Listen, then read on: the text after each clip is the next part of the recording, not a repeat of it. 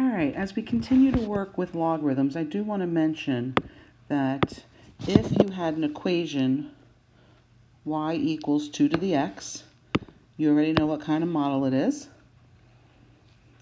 exponential, and if we wrote it as f of x equals 2 to the x, uh, one of the things we did start to talk about is what the inverse would look like.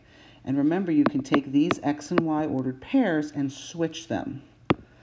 Okay, and so by switching the x and the y ordered pairs, um, we don't really need to make it that small, that big. Um, by taking those ordered pairs and switching them, we created a log graph. So when you see f of x is 2 to the x, I do want you to mention that the inverse of f of x is log base 2 of x. Okay, so for f of x equals 2 to the x, f to the negative 1 of x equals log base 2 of x is indicating that those functions are inverses of each other. Um, so let's see. If we, the other thing I wanted to mention with the inverse is if I wanted to graph 2 to the x, remember 2 to the x, every height off the asymptote is double the height before.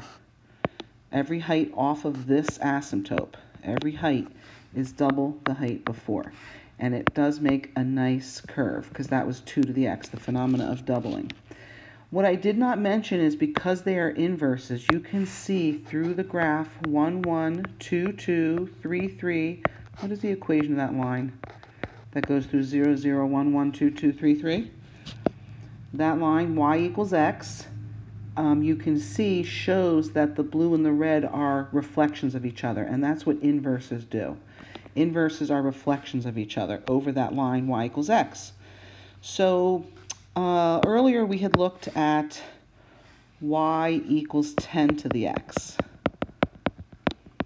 And we did graph its inverse by switching the x and the y. So if f is 10 to the x, you can now say the inverse f to the negative 1 of x is log base 10 of x.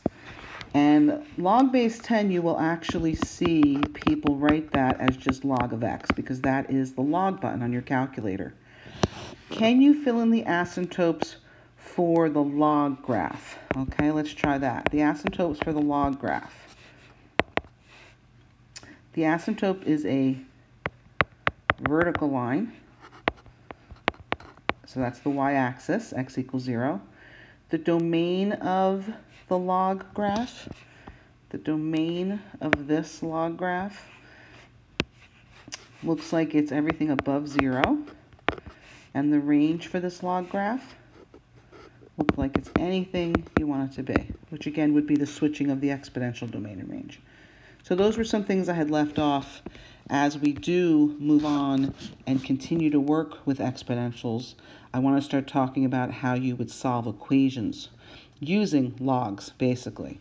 So if I start with an equation, 2 to the x equals 16, you already know that you can rename the bases. 16 is 2 to the fourth. And if the bases are the same, you can basically cross them out and just say that the powers are the same. So we've done that. We've made it more complicated. e to the x equals e to the 5x minus 7 you can do the same thing. They already have the same base, so now all you have to do is think about crossing out those bases and setting the power equal to the power. I would solve by moving x to the right and moving 7 to the left. And your answer, you're dividing both sides by what gets the x by itself. You're dividing both sides by 4. So you can just leave it 7 fourths. So if the problems are not the same base, let's say it's a 2 to the x equals 5. Well, we can't make 5 into a 2 to a power at this point.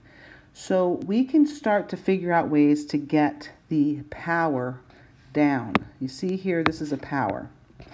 If I rewrite this in log form, so log form, if you have log base b of a number equals another number, you have to know that means b to the p power equals n.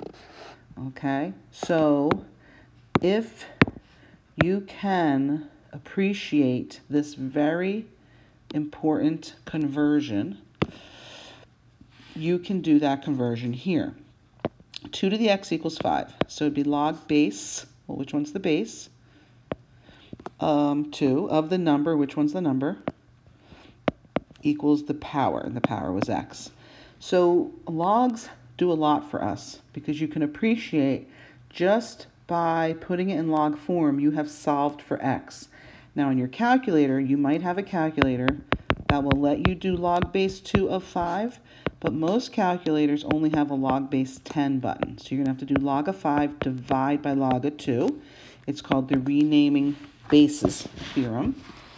And if I were to just do log of 5 divide by log of 2, which I'd like you to try to do on your calculator, you get approximately, it's never going to be really exact, unless the answer could have been done um, without a calculator. Um, if you need a calculator, it's almost always going to be something you're going to have to round. 2 point, let's say to the hundredths. Actually, with logs, you might even round to four decimals, 3219. So we're saying 2 to the 2.3219 power is the closest answer we're going to get to make it equal 5. So logs are our friends. You really want to appreciate that logs would help us. So if I said 3 to the x power equals 6, um, I cannot make 6 a power of 3. So I'm going to rewrite it as a log base, which one's the base of what number equals what number. So you've got to fill that in.